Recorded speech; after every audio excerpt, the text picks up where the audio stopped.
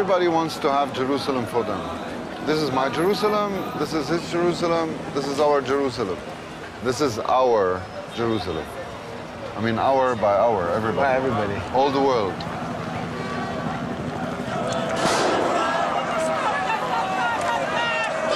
You have some Palestinians standing on that side. Probably the Israelis are coming from the other side. Wow. It's Jerusalem Day, man. It's crazy.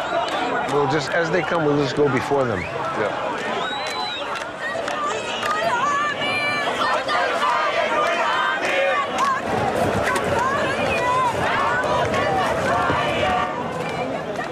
I mean, look at this. We're here, and you look at the walls, right? Yeah. So this already is a sign that conflict has always been an issue here. Yeah. Why? Otherwise, why have these walls?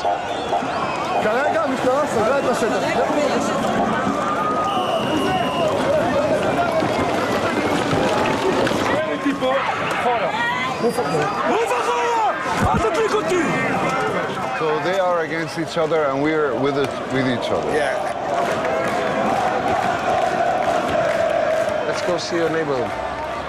Let's go to the neighborhood.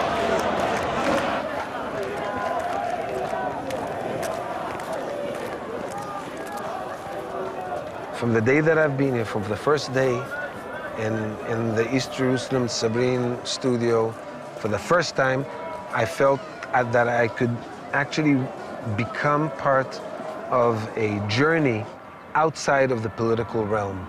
We've been here through intifadas, we've been here through the Gaza war, through the Lebanon war, never saying it's not a good time to be together. When we speak together, I I want to tell you my feelings about it. Yeah. Uh, when we speak together, I don't have that part of me as a Palestinian. It's out, and I get confused about it. I'm not the Palestinian. I'm Isa. Well, I don't come here as an Israeli saying I'm Israeli. I come Yeah. as David. Yeah. But you know, we are res- respectfully we are from different cultures. Yours is the Palestinian, mine is the Israeli. So that's that's a fact. I am who I am. Okay. Yeah. Mm-hmm. You are what you. For are. sure. Absolutely. If you told me now that you're from Kazakhstan or from Spain, you'd still be Isa to me. I'll be Isa. Yalla. I mean, that's for sure. Yeah.